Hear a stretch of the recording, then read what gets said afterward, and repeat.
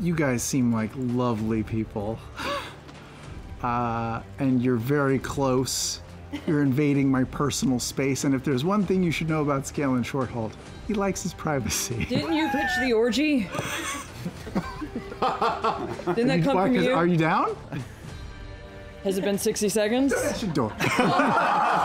So you dimension door. Is that technically a teleport? I'm not. It is. Oh, I'm not. I haven't done it yet. I'm just inspired. Now I'm gonna dimension door. Okay. And are you gonna cancel my teleport? wisdom save. Uh, I don't remember what the DC is. Hold on. Well, it's a three. Oh, Really?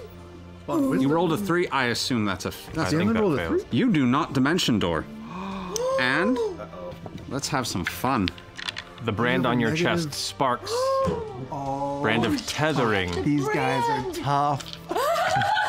I might go down. What? That's 15 points of damage on top of that.